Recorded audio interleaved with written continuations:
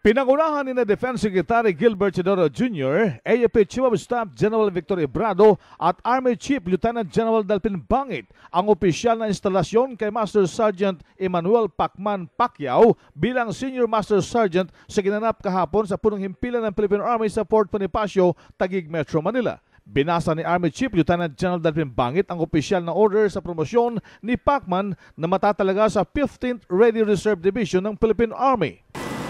Let's get ready to rumble! Formal namang tinanggap ni Senior Master Sergeant Manny Pacquiao ang order. I assume the leadership of the office. Sergeant Major of the 15th Infantry Division, Ready Reserve, Army Reserve Command, effective this day.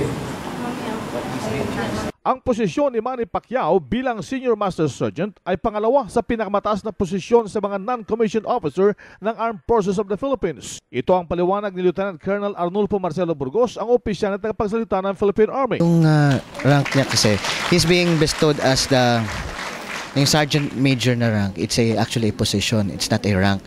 Ang rango niya ngayon is a senior master sergeant from ah, master sergeant, senior master sergeant, which is the second highest sa mga NCO, sa mga enlisted personnel.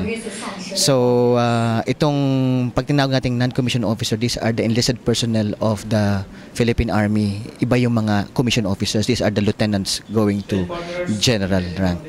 Yung binigay sa kanya kanina, Outstanding Achievement Medal, isa sa mga highest medals yon that uh, a regular or in the reserve force ng Army mabibigyan.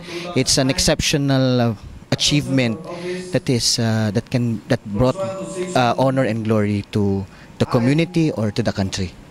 Si Lieutenant Colonel Arnulfo Marcelo Burgos, RH 911, Bing Pormento ng DZRH, Nationwide.